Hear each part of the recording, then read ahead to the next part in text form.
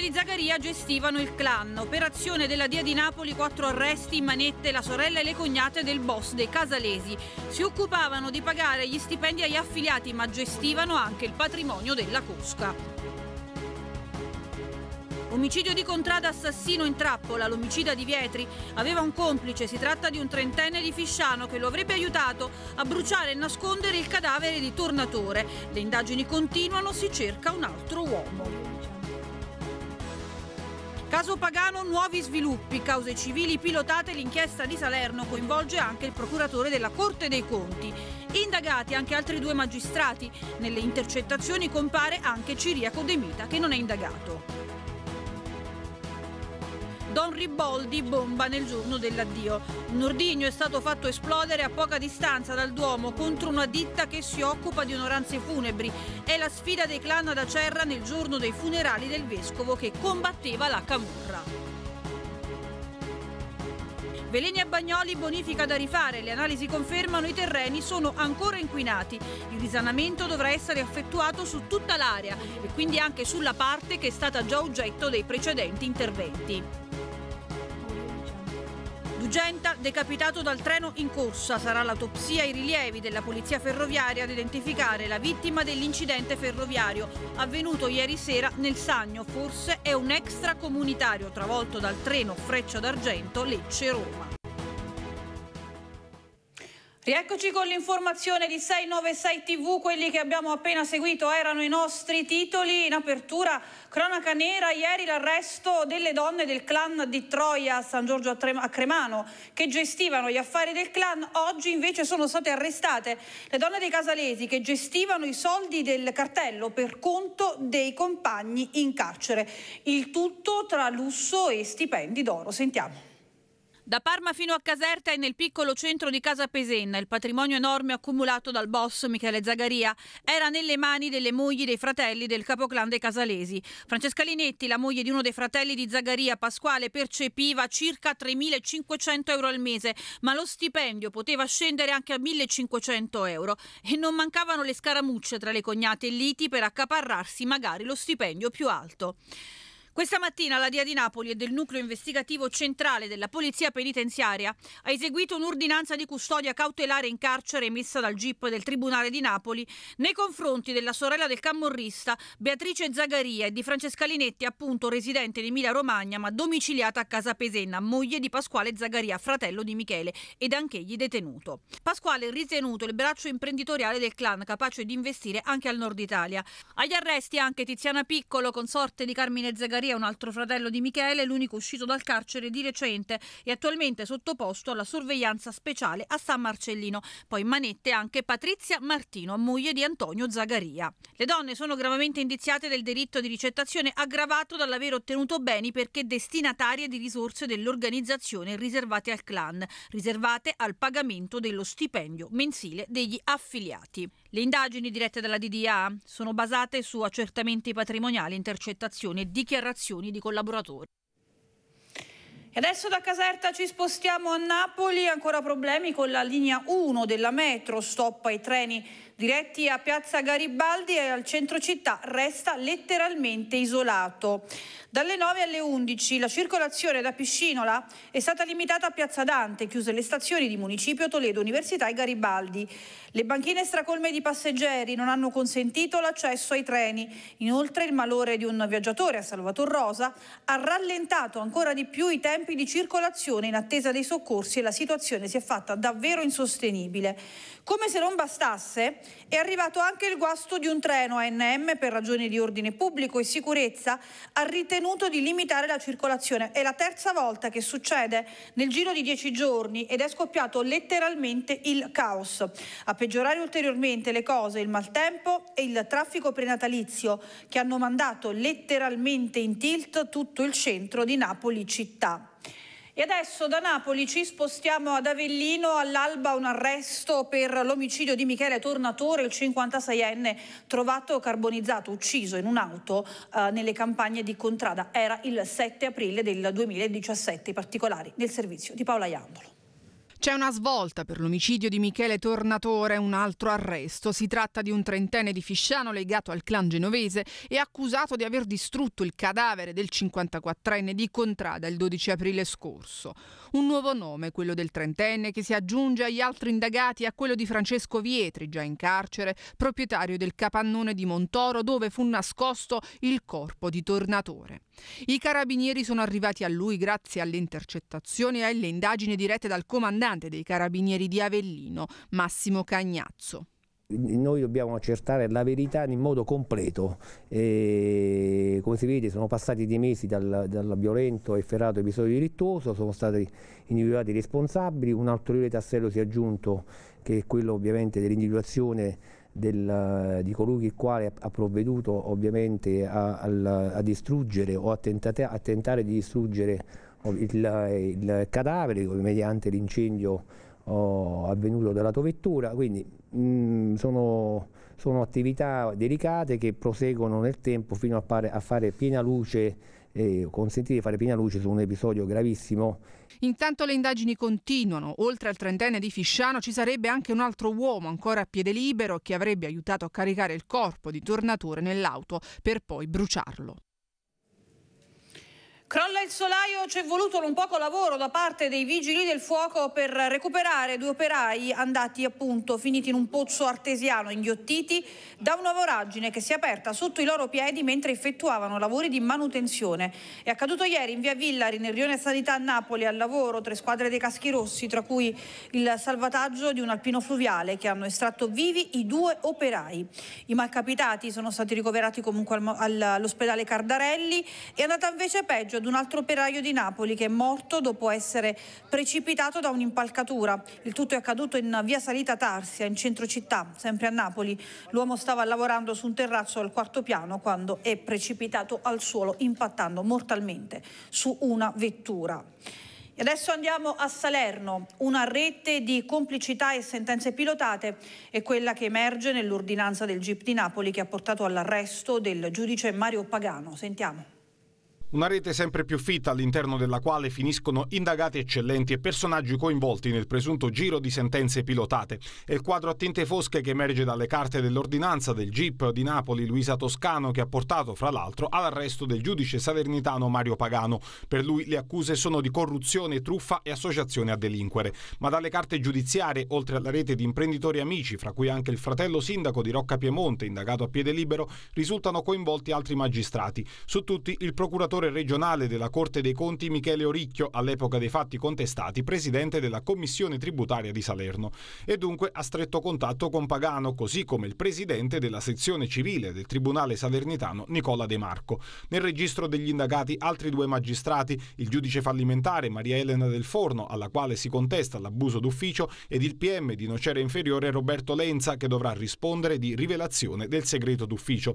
Una vera e propria bufera dunque quella che si abbatte sulla magistratura magistratura salernitana regionale. Per il GIP tra Pagano e altri colleghi togati esisterebbe una consuetudine di rapporti caratterizzati dal reciproco aiuto, come si legge nel provvedimento che lo ha portato ai domiciliari. Insomma, sentenze aggiustate e cause pilotate. Non solo magistrati, comunque, nelle intercettazioni trascritte emerge anche la figura dell'ex presidente del Consiglio Ciriaco De Mita che telefona a Pagano il 20 febbraio 2016 chiedendogli di ricevere un amico per una semplice cortesia. De Mita non è indagato, ma il GIP sottolinea comunque quello che definisce il significato oscuro dell'espressione a telefono.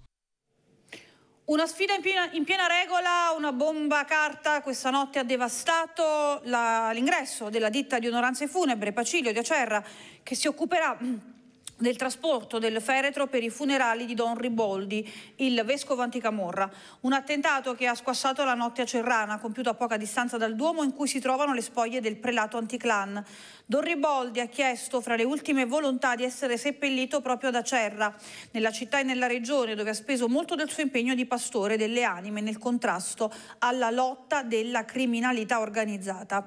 Per la, per la ditta Pacilio è il nono attentato subito in due anni, anche se i titolari hanno sempre smentito di aver ricevuto eventuali richieste di pizzo. Ieri il cardinale di Napoli, Crescenzio Sepe, aveva parlato di Don Riboldi come di un profeta dei tempi di oggi, ricordando l'impegno anti-Camorra nel segno del Vangelo. Ricordate appunto la marcia con migliaia di giovani in, uh, nella città di Ottaviano, la città del, uh, del capo della NOCO, Raffaele Cutolo, una marcia che avvenne appunto negli anni Ottanta.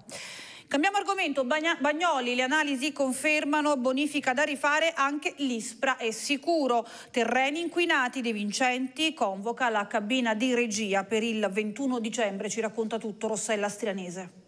Le operazioni di bonifica del sito di Bagnoli Coroglio dovranno effettuarsi su tutta l'area e quindi anche sulla parte che è stata già oggetto dei precedenti interventi. Invitalia, il soggetto attuatore per la rigenerazione di Bagnoli, rivede le analisi di rischio sull'inquinamento dei suoli dell'area ex Italsider, analisi condotte dall'ISPRA, l'Istituto Superiore per la Ricerca e la Protezione Ambientale, che ci dicono in sostanza che i terreni di Bagnoli sono ancora pesantemente inquinati. I ricercatori hanno trovato cadmio, piombo, idrocarburi, arsenico e altro, ben oltre le soglie di tollerabilità stabilite dalle leggi molto rigide. Dunque la bonifica non è stata mai effettuata o chi l'ha fatta ha sbagliato tutto. Risultato si sarebbero sprecati 180 milioni di euro. Ma questo lo stabilirà il Tribunale dove è in corso un lungo processo e la sentenza è attesa entro la fine dell'anno con richieste molto pesanti da parte della pubblica accusa. Nel frattempo si pensa a pianificare il lavoro di risanamento, per cui il governo ha stanziato già altri 270 milioni, progetto voluto fortemente dall'esecutivo di Matteo Renzi, sul quale stanno lavorando rispettivamente il commissario Salvo Nastasi e l'amministratore delegato di Invitalia Domenico Arcuri, con la partecipazione alla pari del comune e della regione. I risultati dello studio saranno presentati nella cabina di regia, convocata per il 21 dicembre e presieduta dal ministro De Vincenti, e ci sarà il via libera definitivo a tutte le gare per la bonifica già espletate. Se non ci saranno intoppi, in primavera apriranno anche i cantieri. Saranno i rilievi e gli accertamenti della polizia ferroviaria come l'autopsia a dover chiarire qual è l'identità dell'uomo morto decapitato ieri sui binari sulla tratta Lecce-Roma tra i comuni di Dugenta e Sant'Agata dei Goti.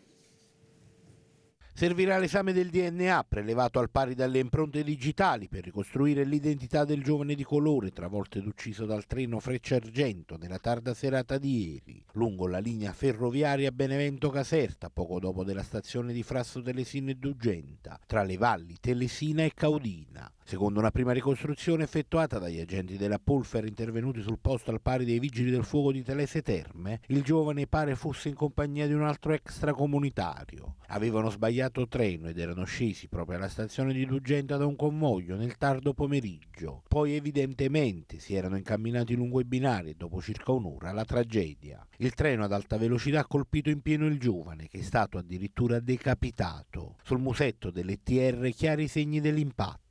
La vetroresina della carrozzeria si è infatti spaccata in più punti minuti. Difficili e delicate le operazioni per la ricomposizione della salma. Sul luogo dell'incidente è anche intervenuta la protezione civile che ha consegnato ai circa 200 passeggeri del convoglio acqua ed altri generi di conforto. Solo dopo alcune ore la linea ferroviaria è stata riaperta. Ora resterà solo da effettuare l'identificazione, nella speranza che quel corpo possa essere sepolto con un nome e magari riaffidato ai familiari. Nei prossimi giorni l'autopsia all'ospedale Rummo di Benevento.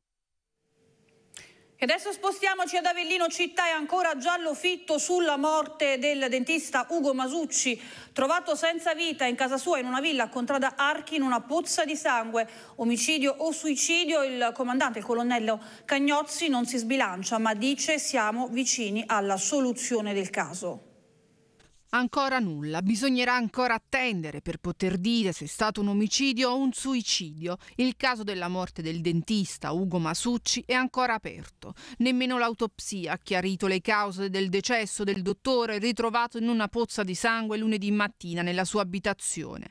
È presto per poter arrivare ad una svolta, così ha detto il comandante provinciale dei carabinieri Massimo Cagnazzo. Non possiamo dare certezza, mancheremo di professionalità. Noi stiamo valutando, è, ovvio che stiamo aspettando tutto l'esito di una serie di accertamenti scientifici non dobbiamo escludere qualsiasi, non solo le due ipotesi, quindi il, il, la, vi è un ampio ventaglio di ipotesi e prima ovviamente, in questo contesto ovviamente stanno cercando tutti gli ulteriori elementi per, per poter addivenire a una individuazione certa di quello che è stato l'episodio, perché se no non capiamo l'orario, la dinamica la, la, motivazione non possiamo dare ovviamente un primo contorno di un volto di autore o di un autore o di una vicenda se non aspettiamo prima gli accertamenti scientifici.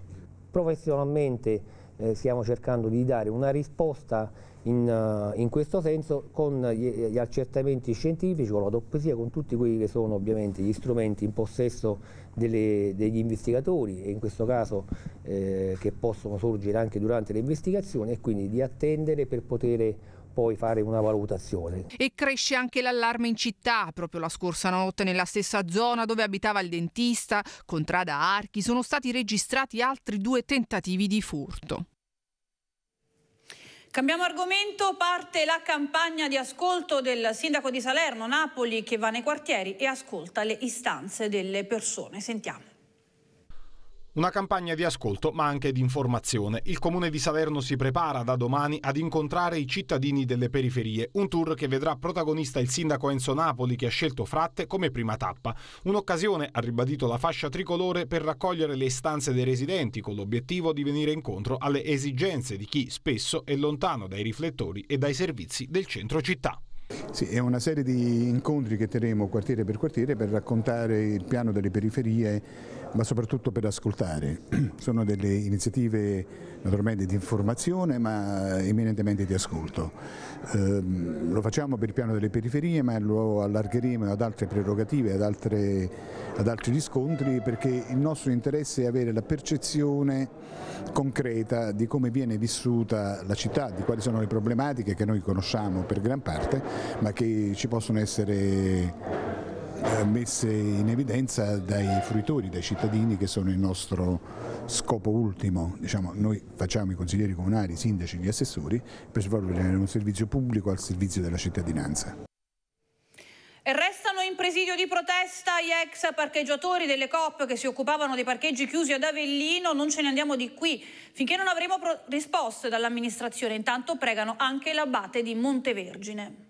Ancora in presidio davanti al comune di Avellino i parcheggiatori delle ex cooperative sociali. Nonostante il maltempo, la pioggia e il freddo, anche questa mattina una ventina di loro lanciano un nuovo appello per un posto di lavoro. E eh vabbè, eh, sono tre giorni che siamo continui qua, che stiamo facendo il presidio, per sperare che qualcuno ci dia qualche notizia di noi, per sapere almeno che cosa hanno deciso. Se No, per adesso nessuna risposta. Qualcuno parla sui giornali, però con noi nessun, nessuno parla con noi, nessuno del Consiglio Comunale, né assessori, di, né assessori di maggioranza, né consiglieri di minoranza, per adesso nessuno si fa sentire. E poi l'appello rivolto anche alle altre istituzioni, al prefetto e all'abate di Montevergine. Chiedo anche se eh, qualcuno delle, altre istituzioni ci potrebbero aiutare, come il prefetto. Eh, domani vediamo più tardi di andare pure al Palazzo Vescovile per parlare col Vescovo, per vederci di darci una mano. Arriveremo anche a Montevergine dall'Abate. L'altra sera il collega qua si è sentito male, dovuto venire all'ambulanza. Siamo qua proprio pacificamente come vedi, eh? non è che stiamo con cartelli, siamo qua. Eh. Sono so, so 24 anni che faccio questo lavoro, un'età che ho, chi mi prende? Qua tutti noi, tutti i colleghi, da 15, 20 anni, 24 anni, sempre questo lavoro qua abbiamo fatto. Ancora sangue sulle strade salernitane. Ieri un motociclista ha perso il controllo del mezzo alla rotatoria Campolongo di Eboli. Adesso la procura apre un'indagine. La strada era senza pubblica illuminazione da mesi. Uno schianto che non gli ha lasciato scampo. È morto così Mauro Manzo, 49enne originario di Cercola, che ieri ha perso la vita in un incidente stradale in località Campolongo del comune di Eboli. L'uomo viaggiava a bordo della sua moto, una Kawasaki Z750 che aveva acquistato da pochi giorni in direzione Salerno. Ha urtato uno dei cordoli della rotatoria andandosi a schiantare prima contro la segnaletica stradale e poi sull'asfalto. Per lui non c'è stato nulla da fare. A bordo c'era un altro uomo, un 33enne di Sant'Anastasia, ricoverato in gravissime condizioni all'ospedale di Eboli. Sul posto i carabinieri della locale stazione e della compagnia e gli agenti della polizia municipale. Questa mattina i segni del drammatico impatto erano ancora ben visibili sull'asfalto. Non è la prima volta che quel tratto di strada è teatro di incidenti mortali. Nel mirino in particolare la scarsissima illuminazione della rotonda snodo cruciale del traffico tra Campolongo e Santa Cecilia. La procura di Salerno ha aperto un fascicolo mentre la moto semidistrutta è stata sequestrata. Le indagini serviranno anche a chiarire se ci sono responsabilità dietro la la morte del centauro napoletano. Dopo gli ultimi incidenti dei mesi scorsi, infatti, la pubblica illuminazione è fuori uso e dunque la rotatoria è al buio e difficilmente visibile. Dai beni confiscati alla Camorra un'opportunità per i giovani che rischiano di dover andare via. Questa è la proposta di Libera Benevento. Michele Martino. L'economia sociale come antidoto a quella criminale, il senso di facciamo un pacco alla camorra, il dono natalizio di prodotti agroalimentari che promuove una crescita civile del territorio, un progetto culturale del Comitato Don Peppe Diana in collaborazione con Libera Associazioni Nomi e Numeri contro le Mafie ed attuato dal consorzio NCO Nuova Cooperazione Organizzata, presentato a Benevento con storie e testimonianze. Vogliamo anche coniugare la bellezza delle storie del nostro territorio.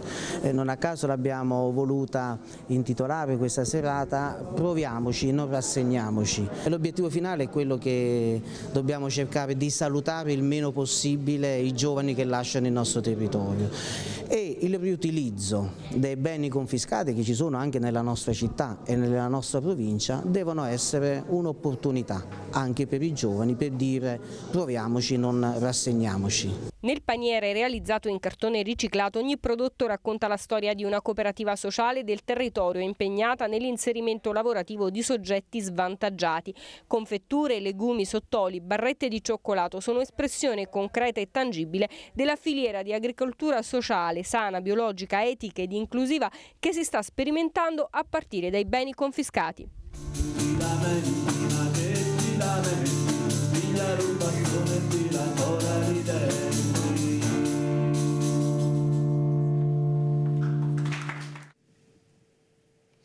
Ed ora una bella storia di amore e di solidarietà in vista del Natale, ce la racconta Gianni Vigoroso.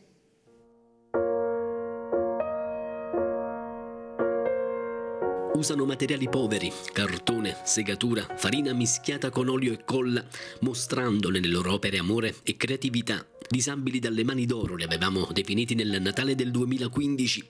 A distanza di due anni siamo ritornati nella residenza sanitaria assistenziale Centro Padre Pio di Grotta Minarda per far visita ai circa 100 ospiti tra anziani adulti di cui 24 affetti da disabilità neurologica ed altre patologie gravi. La cosa fondamentale che guida tutti i nostri interventi il recupero delle abilità. Ovviamente eh, eh, nel periodo natalizio voi vedete qui il presepe alle nostre spalle eh, fatto dai nostri pazienti con i nostri operatori eh, che come primo obiettivo eh, oltre al gioco ha quello di recuperare le abilità dei pazienti quindi è fondamentale avere iniziative di questa natura sotto forma di gioco ma che permettano ai pazienti di riacquisire abilità manuali oltre che cognitive un progetto di terapia occupazionale che ha lo scopo di migliorare la manipolazione attraverso l'ascolto, la comunicazione, il dialogo, il gioco e i lavori manuali. Un'attività meticolosa che si articola in varie fasi durante l'anno sia all'interno che all'esterno della struttura, dall'artigianato alla realizzazione dell'orto biologico. Ogni cosa viene svolta con amore, ingegno e passione. E questo era l'ultimo servizio del nostro telegiornale. A seguire il meteo, poi c'è il TG Sport con il collega Carmine Quaglia.